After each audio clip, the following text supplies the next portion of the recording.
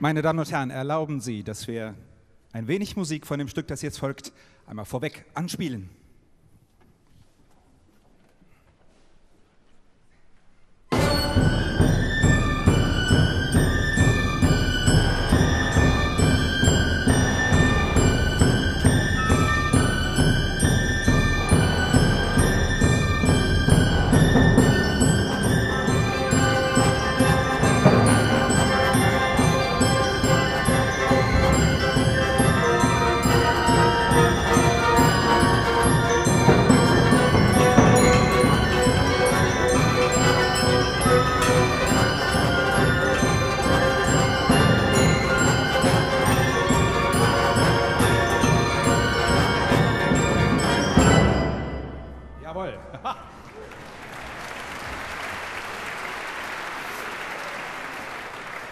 So, meine Damen und Herren, wenn Sie sich jetzt an Ihren äh, Besuch in der Techno-Disco neulich erinnert fühlen,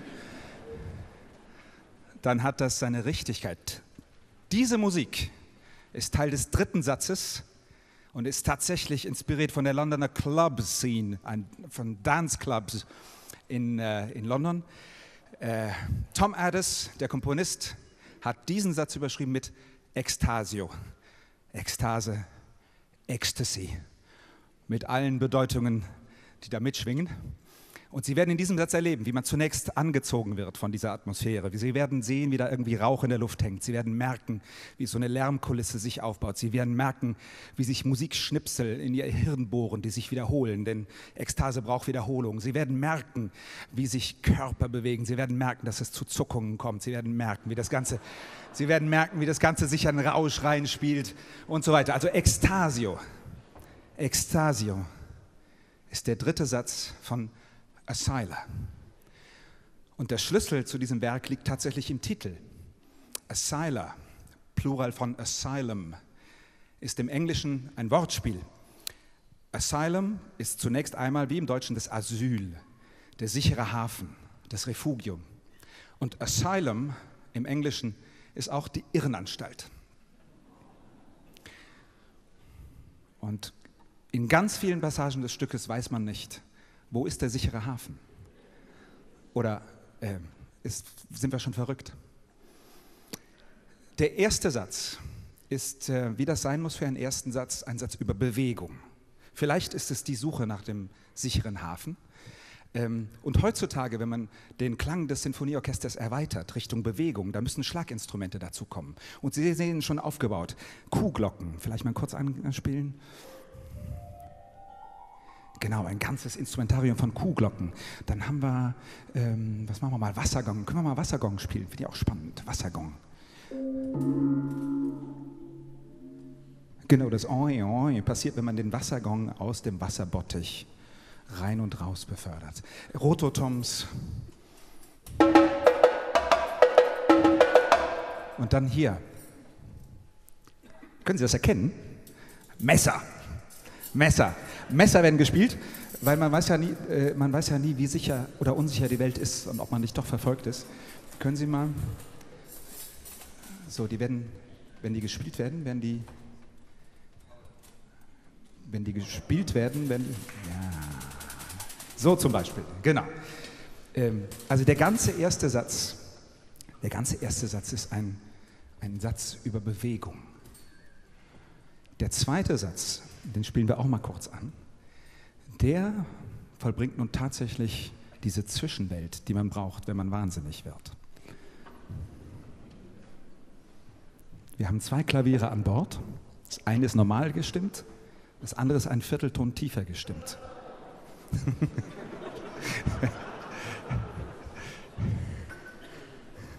Und dazu kommen die undefinierbaren Tonhöhen oder so nur halb definierbaren Tonhöhen der Kuhglocken und Harfe.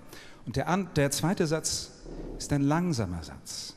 Er ist ein großes Wehklagen, er ist ein Lament. Er ist vielleicht in modernen Zeiten das schönste und intensivste Lament, das ich kenne. Hören wir mal ein bisschen vom Anfang vom zweiten Satz.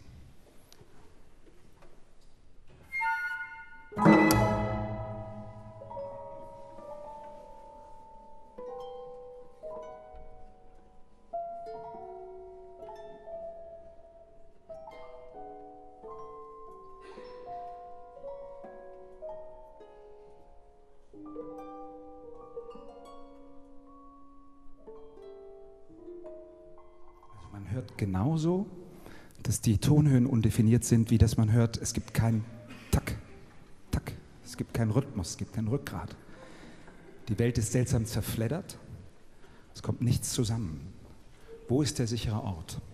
Und in, dieses, in diese Musik rein kommt, wir spielen dann nochmal bei Buchstabe A ähm, in diese Musik rein kommt das, was man macht, wenn man klagt, wenn man Wehklagen in sich trägt. Fallende Linien. Wie kann das sein? Und diese fallenden Linien, diese Seufzergesten, die tauchen in leise, ungeheuer leise, zart, intensiv gespielt in den Bläsern auf.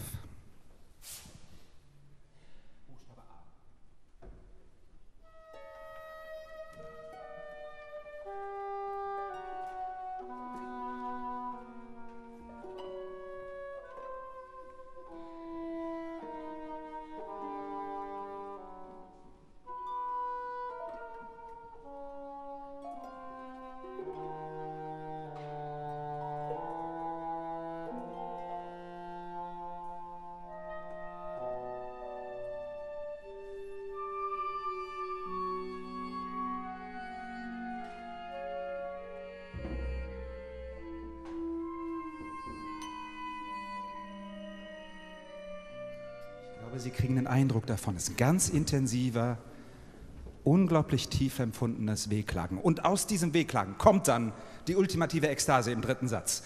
Diese Ekstase verebbt und dann kommt nochmal ein langsamer Satz. Der letzte Satz ist nachdenklich. Der letzte Satz ist still nachdenklich.